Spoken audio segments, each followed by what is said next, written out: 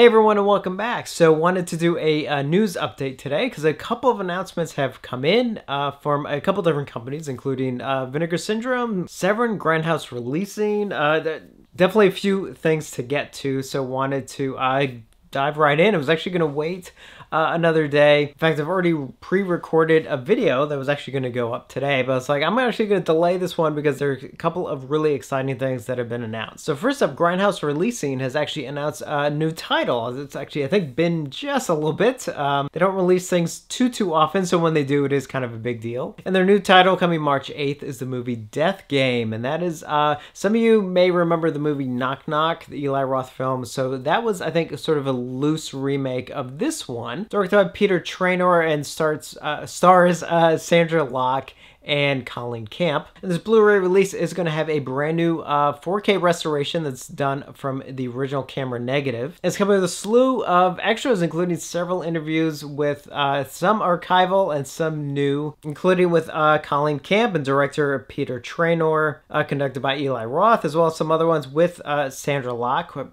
didn't she pass? I think she passed away. As well as audio commentary tracks with the director and star uh, Colleen Camp, as well as a booklet. Really cool looking slipcover. And if you order it directly from uh, Grindhouse Releasing, you can also get this limited edition uh, sort of meat cleaver keychain, which actually looks really cool. I ordered it uh, directly from them. But of course, if you just want the movie, it should be up uh, for pre-order, you know, from most places, you know, Amazon and things like that. But if you want the keychain, you definitely have to get it from uh, Grindhouse Releasing Direct. And next up, Severin has announced their uh, February titles. There's three of them, and uh, they actually look pretty interesting. So first up is the film Stone, which is an Australian film uh, made actually before Mad Max. It's an over-the-top biker film uh, that's sort of directed by Sandy Harbutt, who uh, has passed on, but actually one of the last things he did was actually supervise the uh, restoration of this film. And this is region free and is going to have a couple of extras as well as the CD soundtrack. And then the next two films are uh, sort of Caligula based films, though not not the uh, infamous um,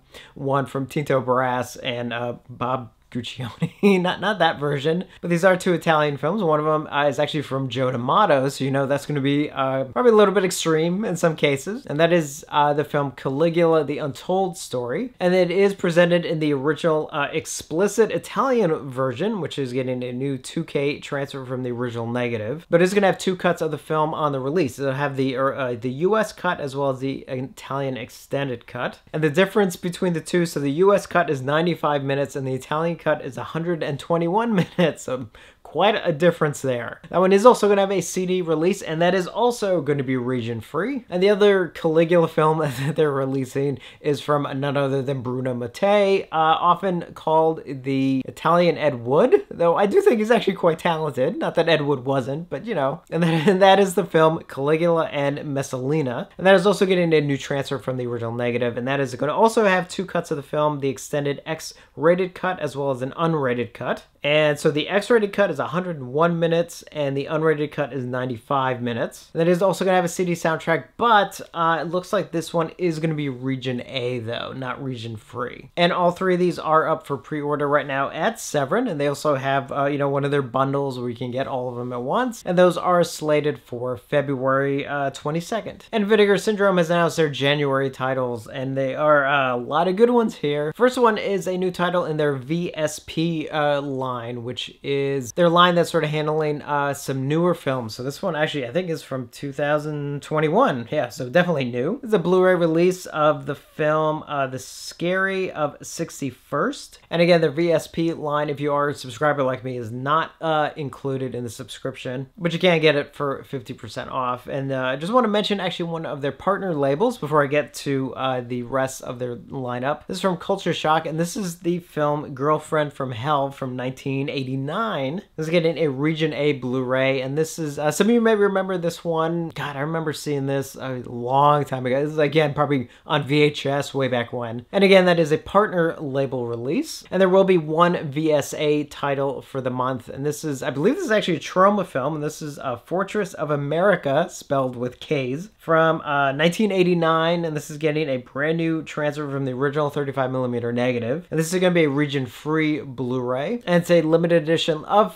5000, just like their other VSA titles. And then next up for the actual uh, Vinegar Syndrome releases, just the regular releases, uh, is the Blu-ray, a new Blu-ray, uh, region-free, from uh, 1989 as well, and that is the movie Curfew, starring Kyle Richards, John Putch, and Wendell Wellman, and that is um, getting a new uh, 2K scan from the 35mm interpositive. Their next Blu-ray release is the uh, Italian film from 1983 of the film Master of the World, also known as Conqueror of the World, sort of a early man survival kind of thing, and that is getting a new uh, transfer from the original camera negative. It's going to be region free and that is also, I believe, the first time it's been released, I think since VHS, but I could be wrong about that. And next up is another box set, and is in indeed the Forgotten Gialli Volume four. So happy that they're keeping up with this. And so this is going to have uh, three films in it, including Arabella Black Angel from 1989. And that's getting a new transfer from the original 35mm camera negative. We'll have uh, the Italian language as well as the uh, English dub. Next film is The Killer is Still Among Us from 1986. Also getting a new transfer from the original negative. And I'm pretty sure I've seen that. I that That's the one I'm thinking of. That's actually a really, really good one. I don't think I've seen the other two, but I'm pretty sure I've seen that that one. And then finally, uh, The Sister of Ursula from uh, 1978. That is also getting a new transfer from the original negative, and all three are region free. And I believe they're only uh, available at the moment uh, in the box set. And then finally, their big 4K release of the month, and that is uh, the film Dead Heat from 1988. Uh, 88, yeah. That'll be a 4K set as well as a Blu ray combo. And that is the film with Treat Williams, Joe Piscopo,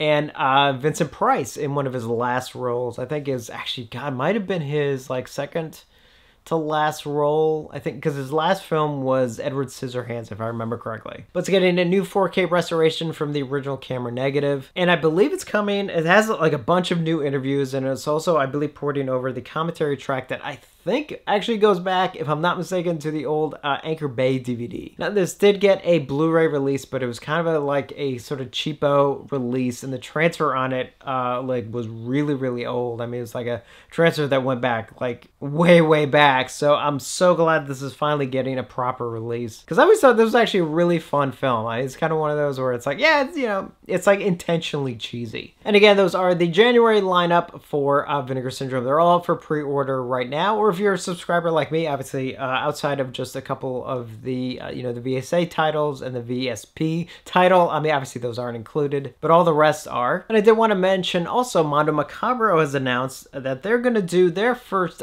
4K title. So another independent company is jumping into the 4K game, which is great to see. And they did confirm that their upcoming release of Dr. Caligari is going to be a 4K release. They did do a 4K restoration of the film, which did premiere at, I believe, believe it was at, I'll tell you in one second, the Fantasia Fest. And that will have a 4K and a Blu-ray combo release that will be coming later this year. And then finally, a huge, huge announcement, at least for me, is the fact that Second Sight Films, uh, the UK company, has announced, they did announce a while ago that they were doing a new release of The Hitcher, which has been long overdue, but it's going to be Blu-ray only because they could not locate any of the original materials. Well, that has changed. They've actually been able to locate the original negative, which originally was thought to be lost. So they did post this on their Facebook page. Happy New Year, everyone, and to kick off 2022, some very exciting news on The Hitcher. We've tracked down the original camera negative. Thanks to Warner's archive team for allowing us access, we will be doing a full restoration for a 4K and Blu-ray release later this year. So that is exciting news, not only uh, because we are long overdue for a really good release of The Hitcher. I mean, there was a Blu-ray release released in Germany, if I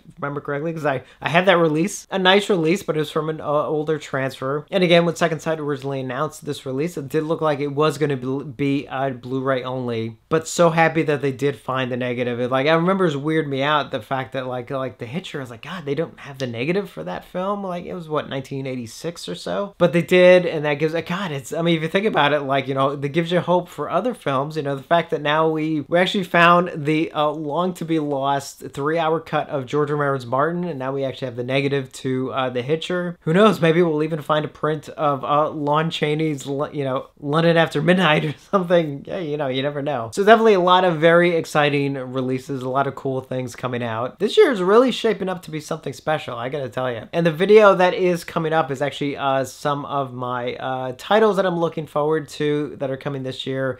Uh, so uh, while I didn't include it in that video, definitely include The Hitcher as part of that now. Also, uh, some ones that I think we might get this year, or at least I hope that we get this year, so keep an eye out for that video. But definitely let me know your thoughts, and as always, thank you for watching, and I will see you on the next one.